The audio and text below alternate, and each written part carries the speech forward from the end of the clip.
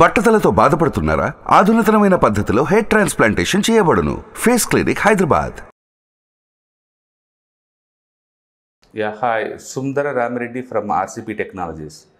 Current market ఎంత ఎక్కువ drawdowns ఉన్నాయంటే even market last four five days నుంచి బాగా మూవ్ అవుతున్నా సరే బట్ ఇంటర్నల్గా స్టాక్స్ మాత్రం చాలా ఎక్కువ డాడౌన్స్ అవుతున్నాయండి.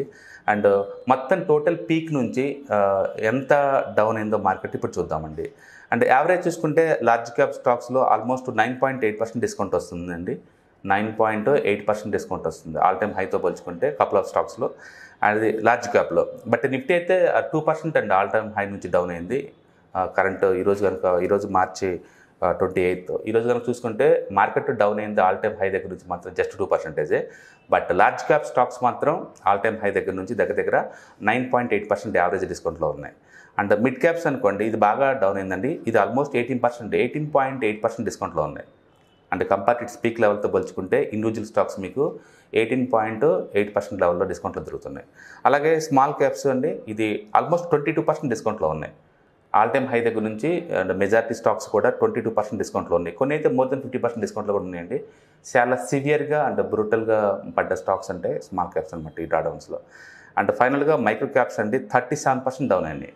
ఊహించుకోండి. యావరేజ్ ఎస్ఎంఈ స్టాక్స్ ఏ రేంజ్లో పడ్డాయంటే thirty seven point five percent డిస్కౌంట్లో ఉన్నాయి ఆల్ టైమ్ హైతో పోల్చుకుంటే. దీన్ని బట్టి మీరు ఊహించుకోండి. నిఫ్టీ లెవెల్స్ చూస్తానికి ఆల్ టైమ్ హై దగ్గర నుంచి two to three percent discount మాత్రమే కనపడుతుంది నిఫ్టీలో. బట్ మార్కెట్ లెవెల్స్ అలా చూపిస్తూ ఉందండి. బట్ ఇండివిజువల్ స్టాక్స్ జోలు వెళ్ళినా లేకపోతే ఇండెక్స్ జోలు వెళ్ళినా ఎంత డౌన్ అయినా ఊహించుకోండి. అండ్ పర్టికులర్గా micro caps thirty seven percentage last two years నుంచి పర్టికులర్గా ఆఫ్టర్ కోవిడ్ తర్వాత ఈ మైక్రో అండ్ మీడియం స్టాక్స్ అయితే చాలా బాగా పరిగెడుతున్నాయండి. అండ్ ఎక్కువ మంది కూడా ఈ ఐపీఎస్ అప్లై చేయడానికి రీజన్ కూడా సగం.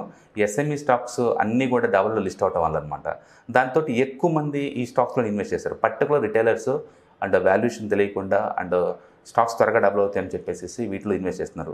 ఈ మధ్య లాస్ట్ టూ త్రీ ఇయర్స్ కనుక మనం చూస్తుంటే ఈ మైక్రో క్యాప్ ఇన్వెస్ట్మెంట్ మీద అండ్ ట్రెండ్స్ బాగా ఎక్కువ అవుతున్నాయి అనమాట ఎక్కువ మంది వీటిని రికమెండ్ చేస్తున్నారు? ఎక్కువ మంది ఇన్వెస్ట్ చేస్తూ ఉన్నారు.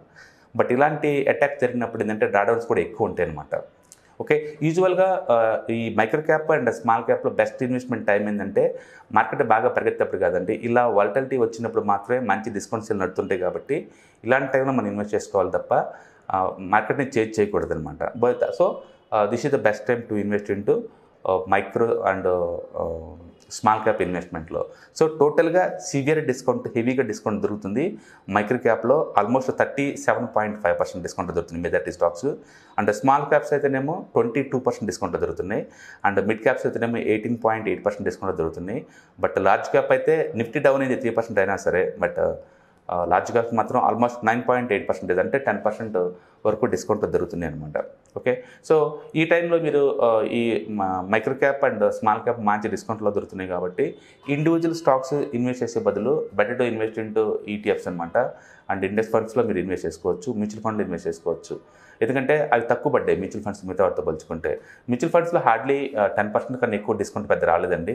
ఇంకా చెప్పాలంటే కొన్ని ఆల్ టైమ్ హైలు కూడా ఉన్నాయి. కొన్ని మ్యూచువల్ ఫండ్స్ ఆల్ టైమ్ హైలు కూడా ఉన్నాయి. కాబట్టి ఇది- ఇలాంటి కరెక్షన్ వచ్చిన టైంలో మాత్రమే మీరు ఈ మ్యూచువల్ ఫండ్స్ వీటికి అడిషనల్ అమౌంట్ కేటాయించుకుంటే లాంగ్ టర్మ్లో మంచి వెల్త్ క్రియేట్ చేసుకోవచ్చు. ఇంకా మార్కెట్ ఎంత పడే ఛాన్స్ ఉంది? ఎక్కువ మంది అడిగే క్వశ్చన్ ఇదే. మార్కెట్ ఇప్పుడు ఇప్పుడు ఇంతతో ఆగుతుందా మళ్ళీ పడుతుంది అనేది. అండ్ ఇవి- ఇలా ఇలా చూసుకుంటే కనుక micro caps already thirty seven percent పడిందండి. అండ్ మార్కెట్లో ఎంత సివియర్ డ్రాడౌన్స్ ఉంటే తప్ప మోర్ దెన్ ఫిఫ్టీ పర్సెంట్ పడే ఛాన్స్ తక్కువ అండి. కాబట్టి ఇప్పుడు జరిగిన అటాక్ ముందు ముందు రోజు జరిగే ఛాన్స్ తక్కువ ఉంటుంది. కావాలంటే టైం కరెక్షన్ జరిగి బేస్ ఫార్మేషన్ జరుగుతుంది. దాన్ని కన్సాలిడేషన్ అంటారు. ఇది one or two months consolidation జరిగి మళ్ళీ market trend up up and అవడానికి ఛాన్స్ ఎక్కువ ఉందండి. కాకపోతే లాస్ట్ టూ ఇయర్స్ నుంచి small caps mid caps micro క్యాప్స్లో బీభత్సంగా స్టాక్స్ రన్ అయినాయండి. అందుకని ఈ సంవత్సరం ప్రాఫిట్ బుకింగ్ చాలా ఎక్కువ ఉంది వాటిలో అందుకని డాడౌన్స్ కూడా ఎక్కువ ఉన్నాయి అనమాట సో ముందు ముందు రోజుల్లో మార్కెట్ సివియారిటీ తగ్గిద్దండి డ- డౌన్ సైడ్. కాకపోతే ఇది అర్జెంటుగా రికవర్ అవ్వాల్సిన అంత టైం కూడా లేదు. ఎందుకంటే టూ థౌజండ్ ట్వంటీ త్రీలో అన్ని ఇండెక్స్లు కూడా చాలా ఎక్కువ రిటర్న్స్ వచ్చింది. సో మనం కనుక హిస్టారికల్ డేటా మనం ఒకసారి చెక్ చేస్తే కనుక ఎప్పుడైతే టూ మచ్ రిటర్న్స్ వస్తాయో నెక్స్ట్ ఇయర్ కంప్లీట్గా ఫ్లాట్ రిటర్న్సే వస్తాయి. గుర్తుపెట్టుకోండి. హై రిటర్న్స్ ఎప్పుడు కూడా ఎప్పుడు వస్తాయంటే next next couple of years వరకు లో రిటర్న్స్ కానీ ఫ్లాట్ రిటర్న్స్ కానీ లేకపోతే తక్కువ రిటర్న్స్ కానీ వస్తేనే మార్కెట్ బాగా మూవ్ అవుతుంది అనమాట ఇప్పుడు ట్వంటీ త్రీలో బాగా రిటర్న్స్ వచ్చినాయి కాబట్టి ట్వంటీ ఫోర్ అనేది వన్ ఆఫ్ ది ఫ్లాట్ ఇయర్గా మన సింగిల్ డిజిట్ రిటర్న్స్ వచ్చిన ఇయర్గా గుర్తుండిపోతుంది. కాబట్టి ట్వంటీ ఫైవ్లోనే మన మార్కెట్ బాగా మూవ్ అవుతుందని ఎక్స్పెక్ట్ చేసుకోవచ్చండి. ప్రస్తుతానికైతే ఈ సంవత్సరం వాలిటిలిటీ తోటి సర్వే మార్కెట్లో ఉండడానికి ఛాన్స్ ఎక్కువ ఉంది. ఇప్పటికే త్రీ మంత్స్ అయిపోయింది మనం ఫోర్త్ మంత్లోకి ఎంటర్ అవుతున్నాం.